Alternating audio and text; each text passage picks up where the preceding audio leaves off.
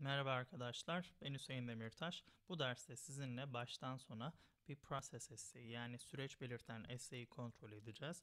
Ne tür hatalar yapılmış, doğrular neler, yanlışlar neler ve hataları nasıl düzeltebiliriz tek tek inceleyeceğiz. Bu dersin size çok şey katacağını düşünüyorum. Şimdi dersimize başlayalım diler.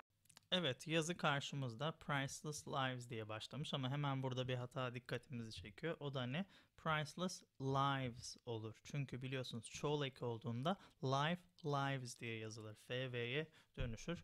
Bu e, basit bir kural ama unutulabilen kurallardan bir tanesi. Ne denilmiş? Epilepsy is a treatable neurological disorder. Evet, epilepsi tedavi edilebilir bir nörolojik hastalıktır. And it is fair, it's a fairly common disease. Hani oldukça yaygın bir hastalıktır. Bu eğenler de çok sık unutulur. Hani oldukça yaygın bir hastalıktır. It's a fairly common disease. According to the research, according to the research, hani araştırmaya göre 60 million people are catched by epilepsy. Hmm, böyle demeyiz. Epilepsi tarafından yakalanmıştır. No. Böyle denmez. Catch normal fiziksel. Hani birini koşup yakalamak demek. 50 million people şunu deriz. Bunu ifade etmenin şekli şudur. Suffer from. Hani epilepsiden muzdariptir. Epilepsi hastasıdır. 50 million people suffer from epilepsy.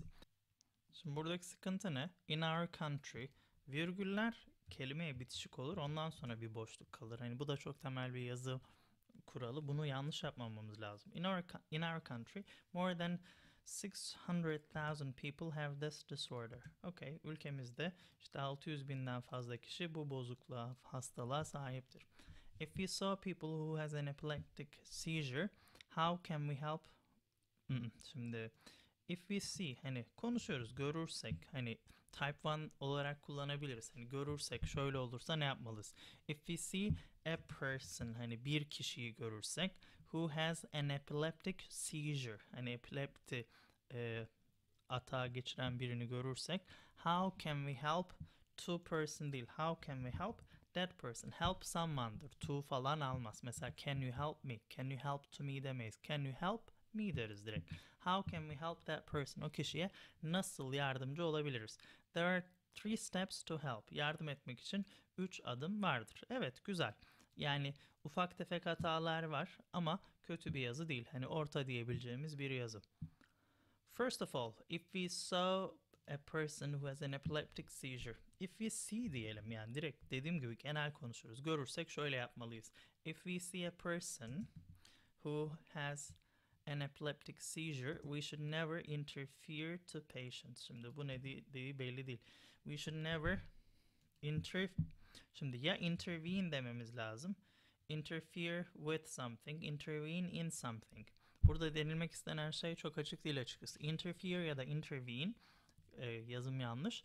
Hani müdahale etmek. We should never intervene to patient. Açıkçası denilen şey belli değil. Hani hastaya müdahale etmemeliyiz gibi. We should never ama niye müdahale etmiyoruz? We should never intervene.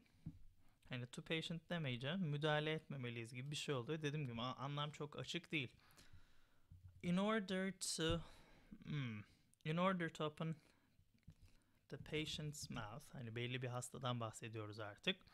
In order to open the patient's mouth, if you try to insert finger, a finger, spoon, or in order to prevent from spasm, the patient will have damaged. Şimdi burası birbirine karışmış. Diyor ki in order to open the patient's mouth, hastanın ağzını açmak istersek, açmak amacıyla, if you try to insert a finger, eğer bir parmak, e, kaşık ya da or kaşık sokarsak hmm, insert a finger, a spoon or in order to prevent from spasm, in order to prevent from değil, prevent from something. Hmm, prevent something, prevent something from happening. Burada bir şey olmamak yok. Şimdi şöyle iki tane farklı yapı var. Prevent something, hani bir şeyi direkt engellemek ya da prevent something from happening, bir şeyin olmasını engellemek. İki tane farklı yapı var. Burada olmasını engellemek değil direkt hani bir şeyi engellemek olduğu için prevent spasm. In order to prevent spasm, the patient will have damage. Şimdi burası karışmış. Singer. Hmm. In order to open the patient's mouth, if you try to insert a finger or spoon, or in order to prevent spasm, the patient will have damaged. Bu hasta zarar vermiş olacak demek. Um, hastaya zarar verilmiş e, olacak demek istiyoruz sanırım. Burada mantıklı olan o. The patient will have hmm, will have been harmed. Will be harmed direkt. The patient will be harmed. Ha, okay. Hastaya zarar verilmiş olacak eğer bunu yaparsak. Ama tabii şurası biraz birbirine karışmış. Eğer şunu deseydik daha anlaşılır olurdu. If in order to open the patient, if we try to insert a finger in order to open the patient's mouth, şu yerini değiştirirsek daha anlaşılır olacak. If we try to insert a finger or spoon in order to in order to open ne amacıyla? Open the patient's mouth, ağzını açmak amacıyla. Ya da in order to prevent spasm ya da spazmı engellemek amacıyla işte kaşık ya da parmak sokarsak hastanın ağzına. The patient will be harmed. E nedir? Hasta zarar görmüş olacaktır. Şimdi bu sırayla yazdığımızda daha anlaşılır oluyor. Ama ilk sırayla birbirine geçmiş. 3-4 tane farklı parça var. Hani ne nereye bağlanmış belli değil. Yani yazdığınız şeylerde kelimelerin sırası, phrase'lerin, ifadelerin yani cümleciklerin sırası anlama çok büyük etki eder. Sonra ikinci paragraf başlamış. Secondly, if there are, tabii ki T büyük olmaz burada. If there are sharp or dangerous objects around around there dememize gerek yok. Direkt around yeterli. Hani etrafta çünkü oradan bahsettiğimiz belli. We should remove from there değil. We should remove them. Onları ortadan kaldırmalıyız. There demeye de gerek. Hani we should remove them. Varsa onları ortadan kaldırmalıyız. Ne için? To prevent to patients damage during the spasms demeyiz. To prevent bakın to prevent someone from doing something. To prevent the patient from getting hurt during the spasm. To prevent the patient hani hastayı bir şeyden alıkoymak için, e, bir şeyden kurtarmak için neden? From getting hurt. Hani yaralanmaktan kurtarmak için ne esnasında? Spazm esnasında. To prevent the patient from getting hurt during the spasm. Bu şekilde söyleyebiliriz. Ama burada görüyorsunuz buradaki sıkıntı ne? Mesela prevent fiili sürekli yanlış kullanılmış. E sebebi de çünkü muhtemelen İngilizce İngilizce sözlükten açılıp detaylı bir şekilde okunmamış. Örnek cümleleri okumazsanız, nesne ile nesnesiz nasıl kullanılır bakmazsanız açıkçası yanlış yaparsınız. Yani Türkçe İngilizce sözlükle sevgili arkadaşlar yazı yazılmaz. Yani çoğu insan bunu yapmaya çalışıyor. O yüzden de çuvallıyor. Çok kötü şekilde çuvallıyor. Size tavsiyem yazdığınız, öğrendiğiniz kelimeleri İngilizce İngilizce sözlükten teyit edin. Örnek cümlelerine bakın nasıl kullanılıyor, neyle kullanılıyor bunları öğrenin. Onları öğrenmeden yazmaya çalışırsanız yazdıklarınız maalesef patlar. Sonra da sebebini anlamazsınız. Devam ediyoruz arkadaşlar. Normally this spam ends in less than 5 minutes. 5 dakikadan kısa bir sürede normalde bu spazm e, sona erermiş. Unless it does, we should go to the doctor. Ha eğer durmazsa, unless it does, eğer durmazsa we should go to the doctor ya da go to a doctor ya da we should visit a doctor diyebiliriz. The last thing is that during the spasm we should take off kravat değil tie.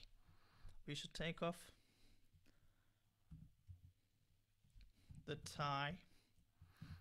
Eğer hastanın bir kravatı varsa belt and anything like that bores to patient in order to take a breath deeply. Şimdi burası da birbirine karışmış. We should take off the tie belt or anything like that or anything like that that might. Şimdi anything like that onun gibi herhangi bir şey. Sonra burada bir daha relative için that getiriyoruz. Hani öyle şeyler ki bunlar hastayı rahatsız edebilir. Anything like that uh, that bores to patient. Bores to patient olmaz. That hmm, şöyle diyebilirim. Silerim şurayı. That might prevent the patient from breathing easily. Ne dedim? Ee, işte kravat, kemer ya da bunun gibi herhangi bir şey ne yapılmalıdır? Çıkartılmalıdır. Ki nasıl herhangi bir şey? Hastanın rahat nefes almasını engelleyebilecek herhangi bir şey çıkartılmalıdır. Moreover, it does not work to smell cologne or onion to the patient. Okay, böyle denmez. It does not work. Mm-mm. Şöyle diyebilirim. It is not useful to make the patient Hani koklatmayı böyle deriz. Causative. Yapı ne? Causative. Causative birine bir şey yaptırma yapısı İngilizce'de. It's not useful to make the patient smell cologne or onion.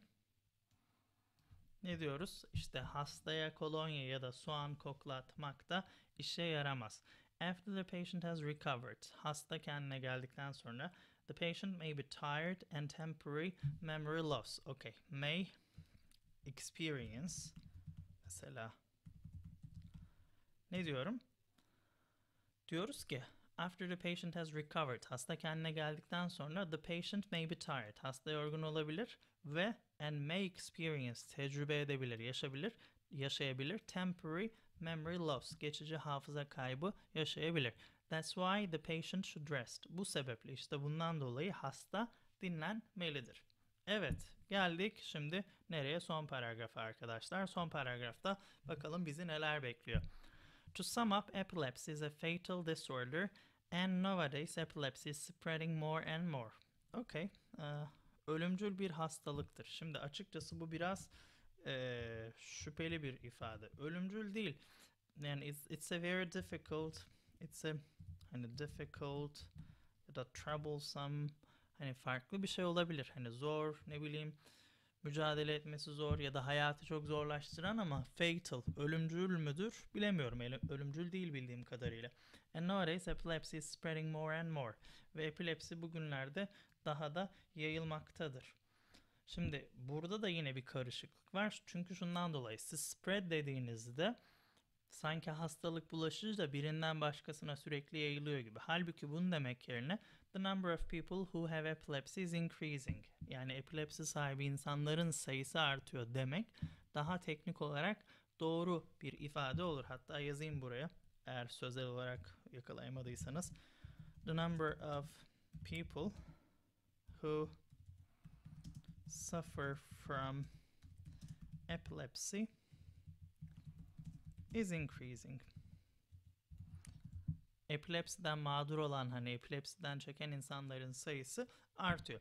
If we get informed about this disorder, eğer bu konuda hani bu hastalıkla ilgili bilgi sahibi olursak, we can save many lives.